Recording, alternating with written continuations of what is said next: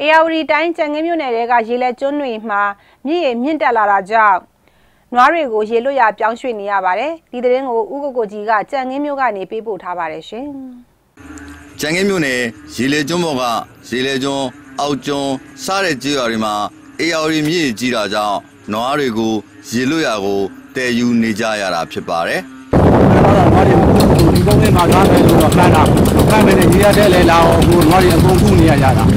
ဒါလိုပဲငါသားတော့ဒီလာဘူးကျိုးလို့တော့ပြောနေလိုက်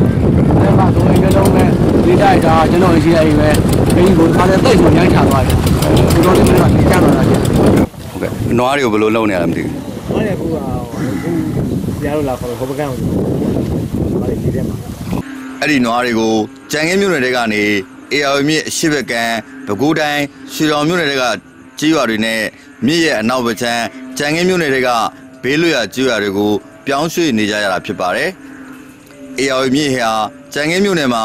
82ပေစိုးရိမ်ရေမှတ်အဖြစ်သတ်မှတ်ထားပြီးဩဂုတ်လတရက်နေ့ရဲ့တိုင်းထောင်ချက်အရစိုးရိမ်ရေမှတ်အထက်တစ်ပေလောက်မြင့်တက်နေပါတယ်။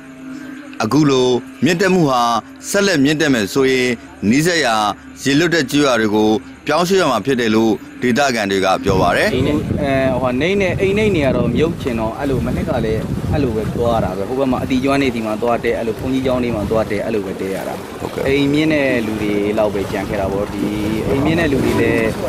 ယောက်ျားသားလောက်ပဲကြံခဲ့တာဟုတ်ကဲ့ဒီမိန်းကလေးတွေနဲ့ကလေးတွေနဲ့တက်ကြီးဘိုးဘွားတွေပေါ့နော်ဒီအိမ်ငွေတလိုက်တန်ပါညာအကုန်လုံးကရွှေ့ရတာကြီးပဲ အခုလိုရေထဲရောက်နေတဲ့နွားအကောင်ရေ900နီးပါးကိုဩဂုတ်လတရက်နေ့မှာမြို့နယ်အုပ်ချုပ်ရေးမှူးဦးဖြိုးမင်းထိုက်ဦးဆောင်တဲ့အုပ်ချုပ်ရေးဝန်ထမ်းတွေတိုင်းဒေသကြီးလွတ်တော်ကိုယ်စားလှယ်ဦးတော်စင်ဝင်းဦးဆောင်တဲ့အဖွဲ့တွေမြို့နယ်ရဲတပ်ဖွဲ့ဝင်တွေမြို့နယ်မိသက်တပ်ဖွဲ့ဝင်တွေတီမွေးကုတာဝန်ရှိသူတွေအရက်ဖက်အဖွဲ့အစည်းတွေနဲ့ AR90 မော်တော်လိုင်းက